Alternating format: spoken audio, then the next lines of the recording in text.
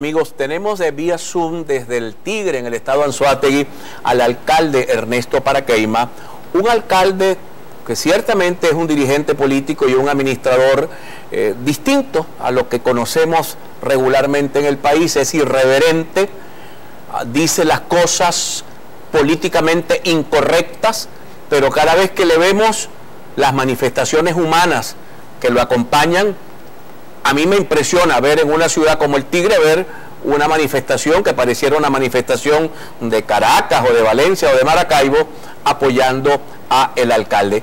¿Cuál es la clave de todo esto, alcalde Paracaima?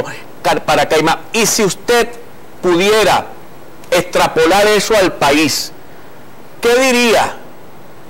¿Qué debería hacer el gobierno nacional? ¿Qué deberían hacer las gobernaciones? ¿Qué deberían hacer el resto de, de los alcaldes? Para alcanzar objetivos de bienestar para la población, pero también de dejar de tratar a la población como si fuesen niños y tratarlos como adultos, gente que tiene derechos, pero que también tiene deberes. Alcalde.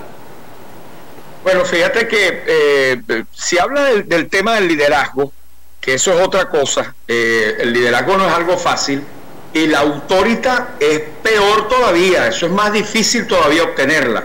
Eso lleva bastante tiempo.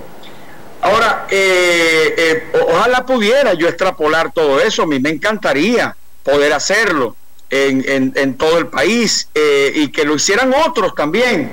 me da mucha pena cuando veo dirigentes que son candidatos presidenciales y cuando van a las regiones va muy poquita gente a sus actividades y, eso tiene que ver muchísimo, igual que las marchas con los sindicatos, las convocatorias. El liderazgo está muy golpeado.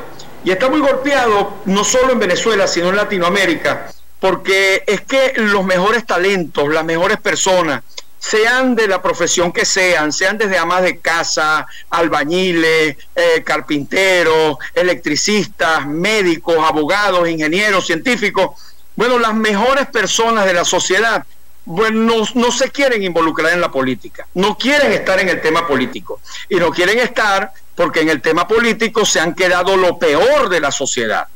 Así, el basurero, el estiércol de la sociedad venezolana se ha metido en la política y se ha metido en la política de las ideologías de izquierda, de derecha, del centro o de los ismos, sea capitalismo, comunismo, socialismo, del que quiera, de como quiera. Y eso también pasando en toda Latinoamérica. ¿Qué tienen que hacer? Primero es abrir las puertas, y eso se lo he dicho yo a la gente que me sigue, le he dicho, abran las puertas, permitan que esas personas sean las que dirijan, que hablen, que lleven, que conduzcan, convóquenlas. Por ejemplo, nosotros tenemos una actividad eh, agroindustrial dentro de dos días.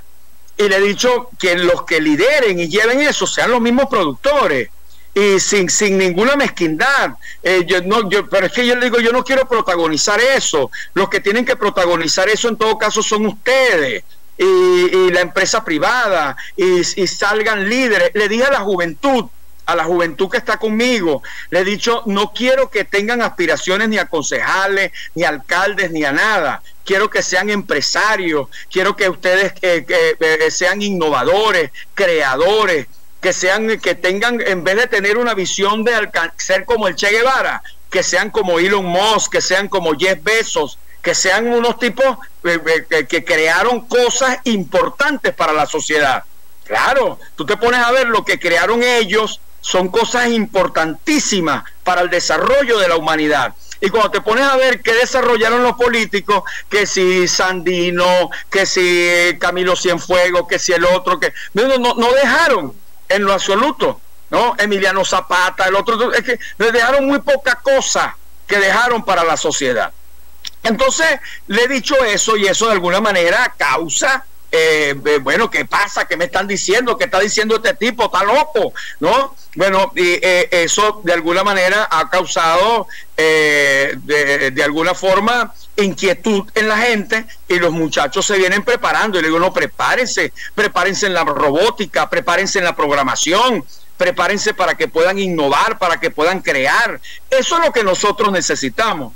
Nosotros necesitamos en la política menos político. Alcalde. menos político. Entre Petro y Nayib Bukele, Cuénteme, ¿con quién se queda usted? No, vale, Nayib Bukele. No, Petro, no, no, para nada. Petro está bien que haya ganado para el propósito en Venezuela para abrir la frontera, para mantener las relaciones, para tener el consulado, para nosotros de alguna manera tener y agarrar un respiro. Está bien, porque es que las otras organizaciones no permitían.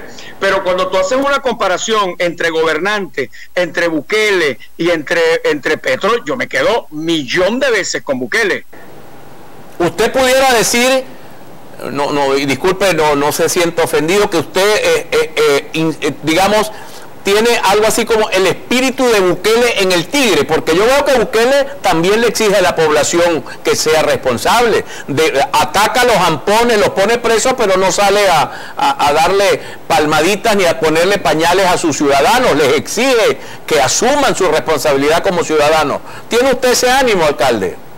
No, yo tengo mi estilo, tengo mi propio estilo, mi propia manera de ser, él tiene su estilo, tiene su propia visión, yo trabajo con el sentido común, eh, nos parecemos eh, del punto de vista de, de la política porque eh, él le ganó a las dos maquinarias, tanto Arena como también al Frente Farabundo Martí por la liberación nacional. Esa pelea entre ellos dejó más de 200 mil muertos en El Salvador y, eso ha sido prácticamente repartido el país durante los últimos 100 eh, años en El Salvador y él pudo romper con esas dos maquinarias. Bueno, lo mismo hicimos nosotros. Nosotros le ganamos aquí a la MUD y le ganamos también aquí al PSU, a las dos maquinarias grandes, porque el caso de la MUD tenía la alcaldía y tenía la gobernación. Es decir, tenía músculo, electoral, tenía poder. Y en el caso del, del, gobierno nacional, bueno, tú sabes todo el centralismo que tienen y todo el poder. Y ganarle una fuerza independiente sin, sin dinero,